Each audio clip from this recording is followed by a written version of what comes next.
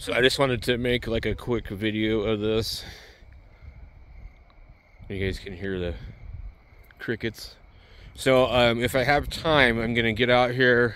We're gonna drive to the uh, Watchtower parking lot, and I'm gonna set up my radio, and um, I'm gonna try and get on uh, 40 meters and 80 meters, and um, I'm just gonna be running low power. Probably run the the Xiegu G90. So. Uh, let me see if I turn the flash on if it does anything. Nothing. it's pretty cool out here. Definitely um, a real clusterfuck when you come through here, uh, one direction. Um, as it takes you into the restaurants and all the crap. Let's see if we can zoom in here.